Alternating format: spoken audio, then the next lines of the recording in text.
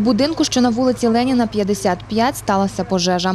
Запах горілого, а згодом і дим з вікна помітили мешканці п'ятиповерхівки. Вони ж викликали пожежних. Я на площадці живу теж на п'ятому етажі. Я прийшла, подивилась, в мене відключений холодильник і світу нема. О. А потім вже визвали ці.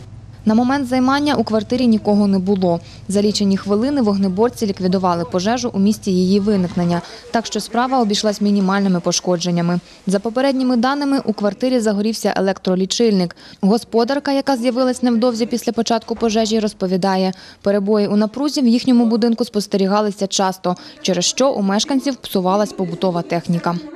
Опять був перепад тока, як завжди. Мене вдома не було. Ти пішла, горів щочик, щочик там жар, все, не горів. Там, правда, все живе, але все чорне вже.